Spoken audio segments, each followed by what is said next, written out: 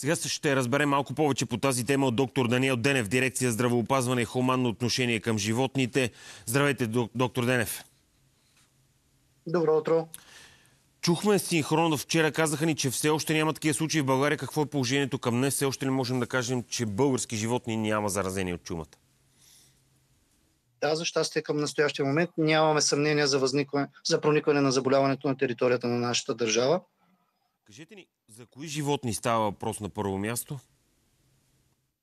За, от заболяването се засягат единствено овцете и козите, като те, само това, те са възприемчив вид а, животни.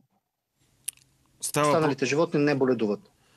Става въпрос за Северна Гърция, т.е. близко до българската граница и Южна Румъния, доколкото разбирам. Т.е. заплахата е абсолютно сериозна за българските стопанства.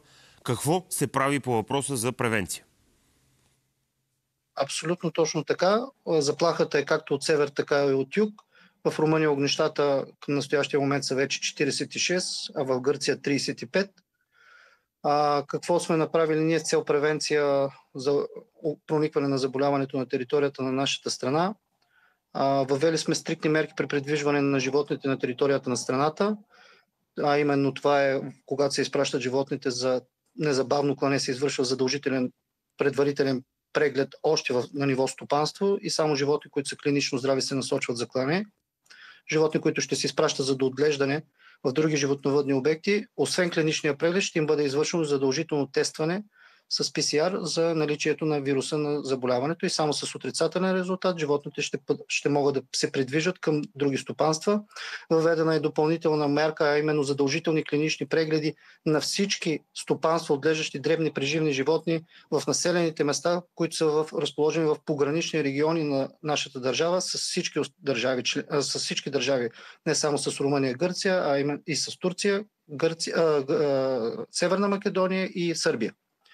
Допълнение сме издали заповед за повишаване на епизодичната готовност на всички областни дирекции по безопасност на храните, вътрешността на страната да се извършват при всяко рутинно посещение на обекти за древни преживни животни също да се извършват клинични прегледи.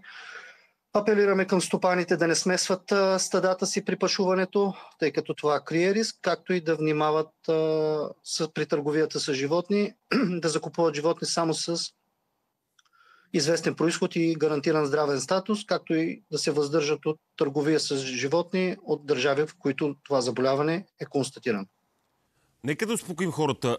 Заразата не е опасна за хората, става въпрос само за този тип животни, овци и кози. Категорично, категорично. Заболяването не се принася и не се отразява на хората по абсолютно никакъв начин и е безопасно за тях. Заболяването е изключително опасно, но само за дребните преживни животни, овце и кози. Имаме ли идея, информация как се е стигнало до тук, откъде е дошла заразата в Гърция и Македония? Малко е странно в северната съседка, в южната съседка по средата нищо. Към настоящия момент нямаме категорични данни, с които да разполага и Европейската комисия. Доколкото ни е известно на нас и сме уведомени, в двете държави се провеждат така наречените спешни мисии или ИОВЕТ мисии, чиято цел е да подпомогнат националните компетентни органи в справяне с заболяването и да подпомогнат извършването на така нареченото епидемиологично проучване, с което с голяма вероятност да даде информация как и по какъв начин е проникнал вируса на територията на засегнатата държава. Този доклад все още не е разпространен до нас, така че нямаме категорична информация. Със сигурност и с много висока вероятност може да се допусне и предположи, че заболяването е пренесено с болни животни или животни, които не са показвали клинични признаци, но са били в така наречения инкубационен период, който за заболяването е сравнително кратък, между 3 и 6 дни и са били или с цел Изглежда имаме технически проблем. Доктор да, Денев, дали ме чувате? Ще се опитаме да наберем отново. Да, аз ви чувам добре. Да. Имаше леко прекъсване, а, може да продължите. Да. Окей, okay, ако трябва да повторя нещо, да, казах, че вероятността... Да, отговора, тъй като прекъснахте за мръзна картината. Заболяването нямаме официалните окончателни доклади, но заболяването може да се допусне с голяма вероятност, че е проникнал с а, търговия с заболели животни, които най-вероятно не са показвали клинични признаци, тъй като заболяването има така наречен инкубационен период или това е скрития период, в който животните отделят вирус, но не показват типичните признаци, които са в, в рамките на 3 до 6 дни. Има ли опасност да се стигне отново до момента от преди няколко години, когато имахме а, заради тежка зараза се наложи да се умъртвят хиляди животни на територията на страната? А, точно по тази причина, че има опасност да проникне на територията на страната заболяването, са предприяти всички тези крайни мерки, които са свързани с, виждате, с рестрикции, допълнителни ангажименти и задължения на собствениците на животните, както и държавата а, с нейните ангажименти, които е поела. Надяваме се да успеем да предотвратим проникването на това заболяване. Разбира се, това зависи и от а, спешната, спешните мерки, които ще предприемат нашите колеги. Колкото по-бързо те радикират това заболяване, ограничат неговото разпространение, толкова по-добре за нас. Споменахте, че вирусът е изключително опасен за животните. За колко време може да умъртви вирусът едно такова животно? Тоест, колко бързо... Опитам се да разбера колко бързо едно стопанство може да бъде а, на практика ликвидирано от болестта, ако тя проникне на територията на страната.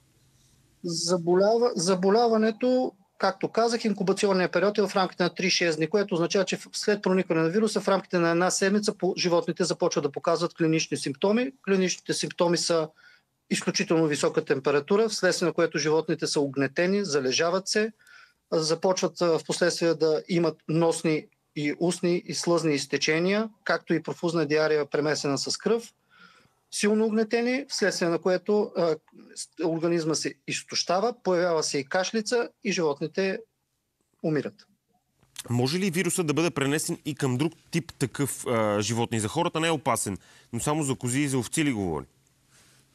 Само за овце и за кози, като заболяването се пренася към настоящия момент изключително контактно, с две думи, от болно към здраво животно.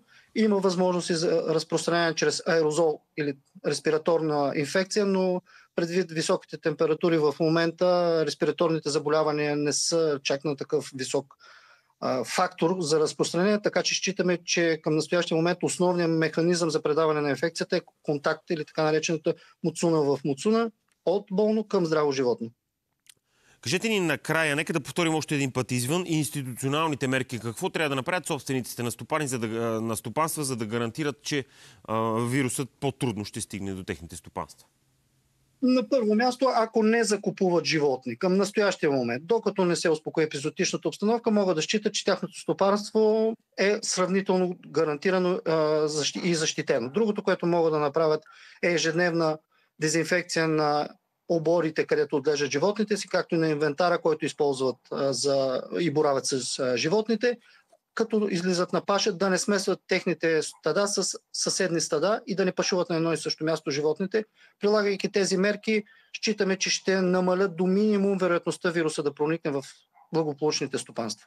Добре, много ви благодаря. Доктор Даниел Денев, дирекция здравоопазване и хуманно отношение към животните, към Българската агенция за безопасност на храните. Чухте, институциите са взели своите мерки за а, непроникване на чумата по дребните преживни животни от Румъния и Гърция в България. Има обаче неща, които и, собствен, и собствениците на стопанства трябва да направят. Най-вече не търгувайте, докато епидемията не приключи поне към този момент. Сега реклама продължаваме след малко отново в студиото.